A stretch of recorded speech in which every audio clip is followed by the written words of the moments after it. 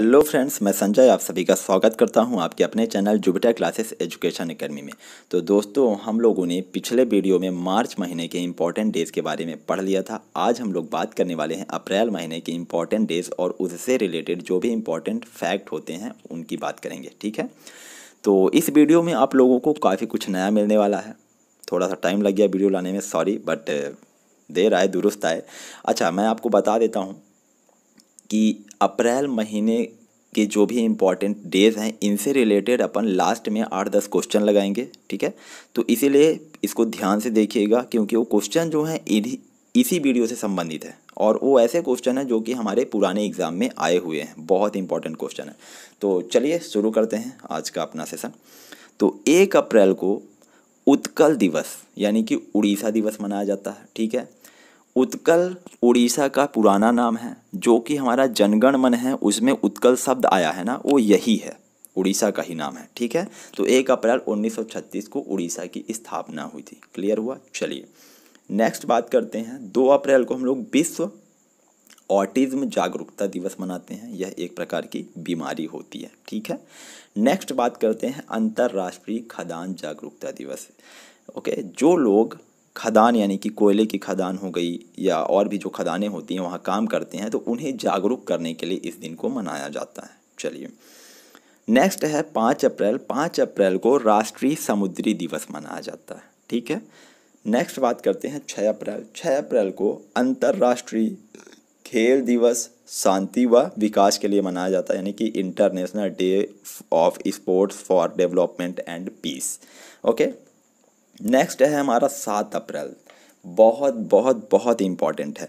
सात अप्रैल को हम लोग विश्व स्वास्थ्य दिवस यानी कि वर्ल्ड हेल्थ डे मनाते हैं। ध्यान दीजिएगा कि इसका मुख्यालय डब्ल्यू एच ओ जिसे आप लोग जानते हो। डब्ल्यू एच ओ का मुख्यालय कहाँ है? तो जिनेवा, स्विट्ज़रलैंड में है। स्थापना सात अप्रैल 1948 को हुई थी। बहुत ही इंपॉर्टेंट क्वेश्चन है। काफ़ी बार एग्ज़ाम में आप लोगों ने देखा होगा इसे। नेक्स्ट है हमारा दस अप्रैल। दस अप्रैल को हम लोग विश्व होम्योपैथी दिवस मनाते हैं। World homeopathy day. हर साल दस अप्रैल को सैमुअल हैनीमैन की याद में मनाया जाता है। क्लियर हुआ? चलिए। नेक्स्ट बात करते हैं। ग्यारह अप्रैल। ग्यारह अप्रैल को नेशनल पेट डे जानवरों के लिए यह दिन मनाया जाता है। ठीक है? नेक्स्ट है हमारा 11 अप्रैल को ही राष्ट्रीय सुरक्षा मातृत्व दिवस यानी कि नेशनल सेफ़ मदरहुड डे मनाया जाता है। अब देखिए यहाँ पे थोड़ा सा इम्पोर्टेंट फैक्ट हालाँकि एग्ज़ाम में आएगा नहीं बट हमें जानकारी होनी चाहिए। गर्भवती महिलाओं के स्वास्थ्य की उचित देखभाल और प्रसव संबंधी जागरूकता फैलाने के उद्देश्य से हर साल यह दिन ग्यारह अप्रैल को मनाया जाता है। ओके। अब देखिए यहाँ पे कि 11 अप्रैल को कस्तूरबा गांधी के जन्मदिन की सालगिरह को राष्ट्रीय सुरक्षा मातृत्व दिवस के रूप में घोषित किया गया है। ठीक है? क्लियर हो गया होगा आप लोगों को कि यह दिन क्यों मनाया जाता है और किसकी याद में मनाया जाता है। चलिए। ओके नेक्स्ट हम बात करते हैं बारह अप्रैल। यह भी बहुत इंपॉर्टेंट क्वेश्चन है और यहाँ से चार पाँच क्वेश्चन बनते हैं। देखिएगा कैसे। अंतर्राष्ट्रीय मानव अंतरिक्ष उड़ान दिवस, जो कि 12 अप्रैल को मनाया जाता है। अब देखिए यहाँ पे कि पूर्व सोवियत संघ के नागरिक यूरी गैगरीन ने 12 अप्रैल 1961 को वोस्ताक नामक अंतरिक्ष यान से अंतरिक्ष के लिए पहली उड़ान भरी थी, जिसके साथ वे अंतरिक्ष पर जाने वाले पहले व्यक्ति बने, बन गए थे। क्लियर हुआ? अब देखिए यहाँ से क्वेश्चन कैसे बनते हैं? क्वेश्चन पहला क्वेश्चन तो आपका यही बन जाएगा कि अंतर्राष्ट्रीय मानव अंतरिक्ष उड़ान दिवस कब मनाया जाता है? ठीक है। दूसरा क्वेश्चन बन जाता है कि यूरी गैगरीन कब गए थे? यानी कि किस सन में गए थे अंतरिक्ष में? उन्नीस सौ इकसठ में गए थे। ठीक है। नेक्स्ट बन जाता है कि पहले अंतरिक्ष यात्री कौन थे? तो वो भी यूरी गैगरीन थे। क्लियर हुआ? यानी कि चार पाँच क्वेश्चन यहाँ से निकलते हैं आपके। बहुत इंपॉर्टेंट है। काफ़ी बार एग्ज़ाम में आए हुए हैं यहाँ से क्वेश्चन ठीक है? नेक्स्ट बात करते हैं हम लोग। तेरह अप्रैल। तेरह अप्रैल जलिया वाला बाघ हत्याकांड उन्नीस सौ उन्नीस में अमृतसर में हुआ था। यह हमारे इतिहास की एक बहुत ही दुखद घटना थी जो कि जनरल डायर के शासनकाल में हुई थी। इसके बारे में हम बचपन से पढ़ते आ रहे हैं तो मुझे लगता है इसके बारे में ज़्यादा बात करने की ज़रूरत नहीं है। चलिए नेक्स्ट बात करते हैं चौदह अप्रैल। चौदह अप्रैल डॉक्टर भीमराव अंबेडकर के, अंबेडकर जी जो हमारे हैं, उनके जन्मदिन के रूप में इसको मनाया जाता है, डॉक्टर भीमराव अंबेडकर जयंती। इनका जन्म मध्य प्रदेश के महू में हुआ था, ठीक है? और इन्हें संविधान का पिता कहा जाता है, संविधान निर्माता हैं ये, है ना? और देखिएगा यहाँ पे कि समानता दिवस और ज्ञान दिवस भी ज्ञान दिवस के रूप में भी इस दिन को मनाया जाता है, समानता दिवस और ज्ञान दिवस के रूप में। क्लियर हुआ? क्योंकि यह समानता के लिए संघर्ष करते रहे पूरे जीवन भर की समाज में समानता होनी चाहिए, सबको बराबर अधिकार मिलने चाहिए, कोई छोटा बड़ा नहीं होना चाहिए।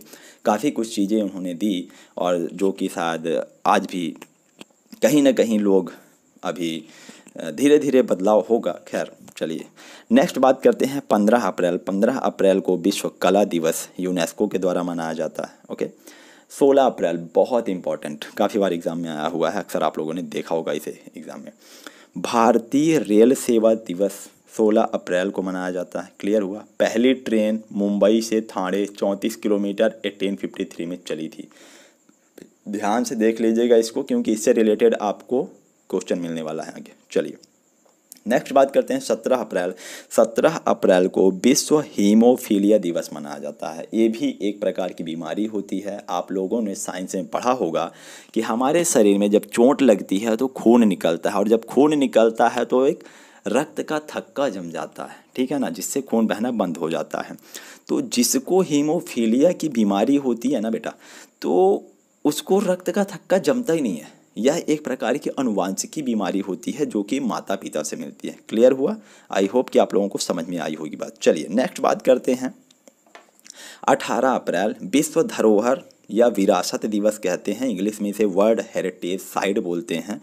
है ना? जैसे कि विश्व विरासत में हमारे देश से भी बहुत सारी चीज़ें शामिल हैं। फॉर एग्ज़ाम्पल ताजमहल हो गया, सांची स्तूप हो गया, खजुराहो मंदिर हो गया। तो इस तरह से बहुत सारी चीज़ें जो हैं, हमारी पूर्व धरोहर जो हैं, राजा महाराजाओं के ज़माने की चीज़ें जो धीरे धीरे विलुप्त होती जा रही हैं तो उन्हें बचाना है, उनका संरक्षण करना है। तो उसके लिए हम लोग इस दिन को मनाते हैं। नेक्स्ट है हमारा उन्नीस अप्रैल, जिसे हम लोग विश्व लीवर दिवस के रूप में मनाते हैं। ध्यान देना है कि विश्व लीवर दिवस, यानी कि लीवर का हमारे बॉडी में कितना इंपॉर्टेंट रोल होता है, इसका महत्व बताने के लिए इस दिन को हम लोग मनाते हैं। अब है अगला। ध्यान दीजिएगा, इक्कीस अप्रैल बहुत इंपॉर्टेंट है। यहाँ से भी एग्ज़ाम में क्वेश्चन बने हैं काफ़ी बार। भारतीय लोक सेवा दिवस, नाम तो सुना ही होगा आप सबने इसका। बहुत तैयारी भी करते होंगे शायद कुछ लोग। चलिए। तो भारतीय लोक सेवा दिवस यानी कि इंडियन सिविल सर्वेंट डे। अब देखिए यहाँ पे कि सरदार वल्लभ भाई पटेल ने स्वतंत्र भारत के प्रथम लोक सेवा सत्र को मेटकॉफ हाउस में संबोधित किया था। क्लियर हुआ बात? चलिए, ने, और इसी से रिलेटेड और क्या है कि जहाँ उन्होंने लोक सेवकों को स्टील फ्रेम ऑफ़ इंडिया कहकर सम्मानित किया था। ध्यान दीजिएगा, यहाँ से भी क्वेश्चन कैसे बनेंगे? कि पहला जो हमारे मतलब प्रथम लोक सेवा सत्र को किसने संबोधित किया था? तो सरदार वल्लभ भाई पटेल जी ने किया था और उन्होंने क्या कह के पुकारा था इन्हें? तो स्टील फ्रेम ऑफ़ इंडिया कह के पुकारा था। क्लियर हुआ बात? चलिए, नेक्स्ट बात करते हैं। इक्कीस अप्रैल को ही विश्व रचनात्मक एवं नवाचार दिवस के रूप में मनाते हैं, यानी क्रिएटिविटी एंड इनोवेशन डे के रूप में मनाया जाता है। पहली बार इसे कब मनाया गया था? तो 21 अप्रैल 2018 को इसको पहली बार मनाया गया था और तब से इसे मनाना शुरू किया गया है।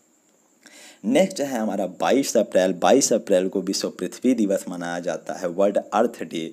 यानी कि हमारा धरती जो है, इसे हमें साफ़ सुथरा रखना चाहिए और इन, जो भी है, पोल्यूशन वगैरह नहीं करना चाहिए। तो पहली बार इसे 1970 में मनाया गया था और तब से लगातार मनाया जा रहा है। तेईस अप्रैल, नेक्स्ट तेईस अप्रैल है। तेईस अप्रैल को विश्व पुस्तक एवं कॉपीराइट दिवस, यानी कि world book and copyright day के रूप में मनाते हैं हम लोग। ठीक है? 24 अप्रैल 24 अप्रैल राष्ट्रीय पंचायती राज दिवस के रूप में मनाते हैं। ध्यान दीजिएगा, यह भी बहुत इंपॉर्टेंट क्वेश्चन है। यहाँ से एग्ज़ाम में तो इसके बिना तो मेरे हिसाब से एग्ज़ाम में क्वेश्चन बनता ही बनता है, पक्का। ठीक है? अब देखिए, यहाँ से भी तीन चार क्वेश्चन बनते हैं। कैसे? और हो सकता है कन्फ्यूज़ भी हो जाएँगे आप लोग। देखिए चौबीस अप्रैल को राष्ट्रीय पंचायती राज दिवस मनाया जाता है। अब देखिए, यहाँ पे कुछ चीज़ें मैंने लिखी हैं कि संविधान में तिहत्तरवां संविधान संशोधन अधिनियम उन्नीस सौ बानबे के तहत भारत में पंचायती राज व्यवस्था का प्रावधान किया गया। यह अधिनियम 24 अप्रैल उन्नीस सौ तिरानबे से प्रभाव में आया था। अब देखिए, यहाँ से क्वेश्चन कैसे बनता है? पहला क्वेश्चन बनता है कि भाई, राष्ट्रीय पंचायती राज दिवस कब मनाया जाता है? तो कब मनाया जाएगा? 24 अप्रैल को। दूसरा क्वेश्चन बनता है कि यह कौन से संविधान संशोधन के तहत मतलब किस संविधान संशोधन के तहत पारित किया गया? लागू संविधान संशोधन, कौन सा संविधान संशोधन किया गया था इसमें? तो तिहत्तरवा संविधान संशोधन किया गया था। फिर इसमें एक क्वेश्चन बनता है कि कौन, किस सन में यह पारित हुआ था? तो उन्नीस सौ बानबे में पारित हुआ था। और किस सन में यह प्रभाव से आया? यानी कि लागू किस सन में हुआ था? तो उन्नीस सौ तिरानबे में लागू हुआ था। आई थिंक कि आप लोग समझ गए होंगे मैं क्या कहना चाह रहा हूँ। ठीक है? तो इससे रिलेटेड भी अपन ने क्वेश्चन रखा हुआ है। चलिए 25 अप्रैल 25 अप्रैल को हम लोग विश्व मलेरिया दिवस यानी कि वर्ल्ड मलेरिया डे मनाते हैं। अब इसमें भी देखिएगा कि प्रोटोजुअन प्लाज्मोडियम नामक कीटाणु मादा एनीफिलीज के मतलब मादा एनिफिलीज मच्छर के माध्यम से फैलता है। ठीक है, मलेरिया मादा एनिफिलीज मच्छर के काटने से ही होता है। जो नर होता है, उसके काटने से नहीं होता है मलेरिया। ठीक है, चलिए, नेक्स्ट है हमारा विश्व पशु चिकित्सा दिवस वेटनरी डे जो कि अप्रैल के अंतिम शनिवार को होता है। अब वो अंतिम शनिवार किस डेट को फंसेगा? अधिकांशतः शायद तीस अप्रैल को फंसता है बट जो भी है, हर साल अलग अलग भी हो सकता है। ओके, फिर है छब्बीस अप्रैल। छब्बीस अप्रैल को विश्व बौद्धिक संपदा दिवस के रूप में मनाया जाता है। ठीक है? और लास्ट है हमारा उनतीस अप्रैल, जो कि अंतर्राष्ट्रीय नृत्य दिवस के रूप में मनाया जाता है इंटरनेशनल डांस डे ठीक है? तो मेरे हिसाब से अप्रैल महीने में लगभग लगभग हमने इंपॉर्टेंट डेज़ कवर कर लिए हैं। तो आइए अब हम लोग बात करते हैं जो हमारे इंपॉर्टेंट क्वेश्चन तो पहला क्वेश्चन हमारा क्या है? देखिए, इस तरह से क्वेश्चन आया हुआ है। एमपी पुलिस 2017 में क्वेश्चन आया हुआ है। मैं बता देता हूँ आपको। आप लोग देख लेना प्रीवियस ईयर का पेपर उठा करके।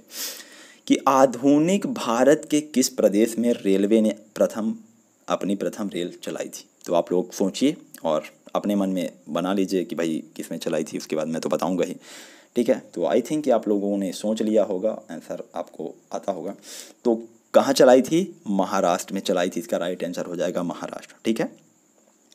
चौंतीस किलोमीटर मुंबई से थाने चली थी ट्रेन ओके चलिए नेक्स्ट बात करते हैं हमारा, उत्कल दिवस कब मनाया जाता है? ये भी मैंने आपको बताया, उत्कल दिवस कब मनाया जाता है तो उत्कल दिवस एक अप्रैल को मनाया जाता है। क्लियर हुआ? तो ये इसका आंसर हो गया एक अप्रैल। चलिए नेक्स्ट बात करते हैं।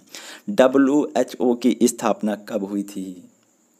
ठीक है, और इसमें आप लोग मुख्यालय तो ज़रूर ही याद कर लीजिएगा और किस सन में हुई थी ये भी याद कर लीजिए क्योंकि ये भी एग्ज़ाम में आता है।